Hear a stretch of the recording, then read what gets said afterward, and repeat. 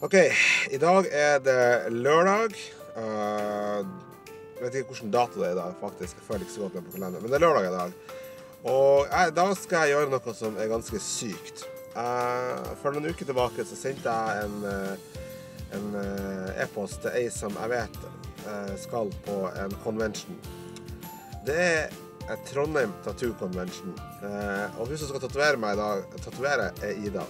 Nå spoiler jeg litt av det jeg skal si, da, men samme det. Eh, jeg har ingen tatoveringer på kroppen whatsoever. Jeg har alltid, alltid vært imot tatoveringer. Men som jeg har sagt tidligere, det, så har jeg lyst til å gjøre litt forandringer. Og jeg har aldri følt at det har vært noe verdt å tatovere på kroppen før nå, da. Så i dag så skal jeg få tatovering på armen. Og det skal være en tatovering av, eh, av Leon. Og det kommer til å ta fem timer. Alt skal være ferdig i dag. Så det her kommer til å bli spennende. Vi skal da av gårde på Trondheim Convention og bli tatovert.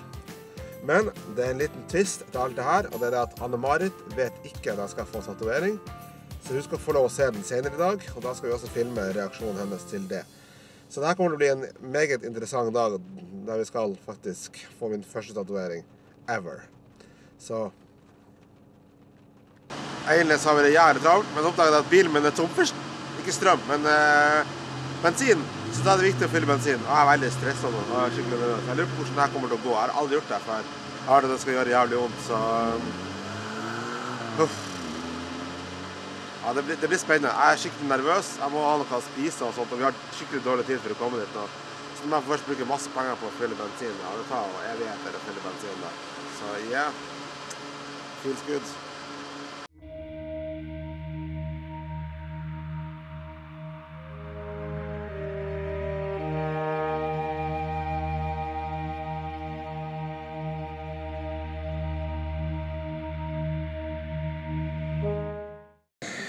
OK, så da har vi sittet tre, rundt tre og en halv time i stolen.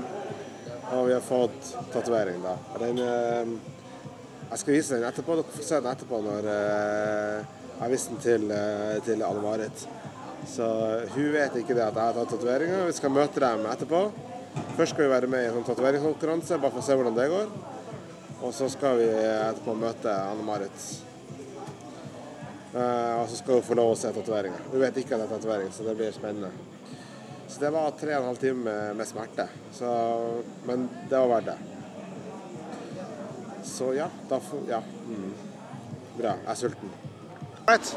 Da har vi vært på um, Trondheim Tattoo Convention, og jeg har dekket opp tatoveringa i armen her. Uh, jeg har fått vite av ei venninne at uh, de er på um, en kafé. Så de vet ikke at vi kommer dit. Så jeg skal bare gå dit og si det at Skikkelig dramatisk at Hei, Anne Marit, har noe å fortelle deg.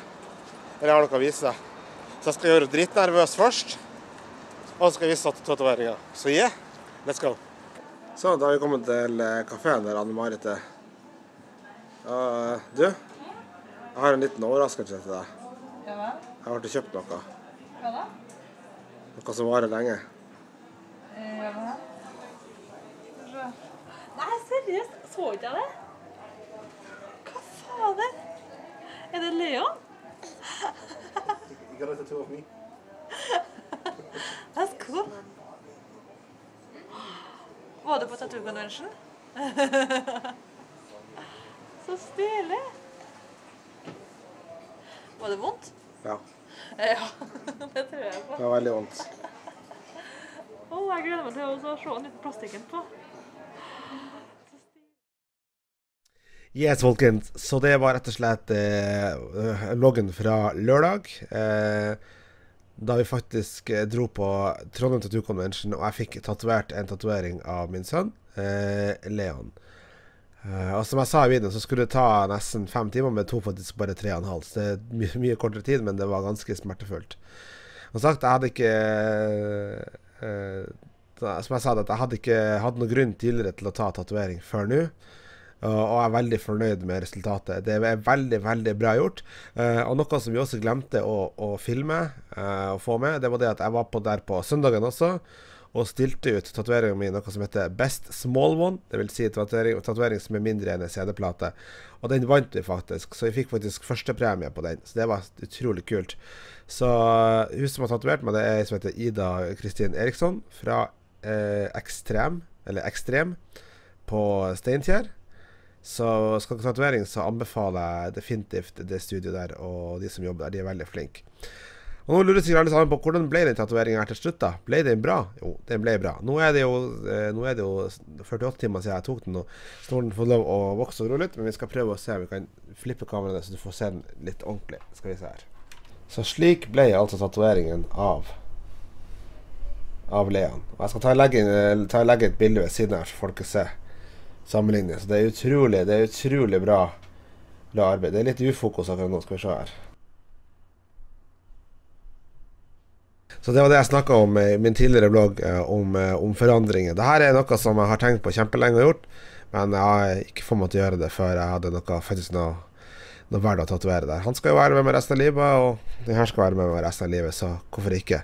Så jeg syns det her var litt, eh, litt spesielt, litt kult. Jeg deler noe som eh, som eh, betyr veldig mye for meg. Og jeg håper at du syns eh, at det var gøy å se på og sette pris på det.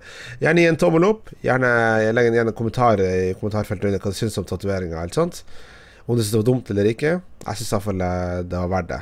Hvert eneste sekund når jeg tok den var verdt det. Så takk for at du så på dagens video. Jeg håper du har det fint. Så ses vi videre i løpet av uka. Ha det bra.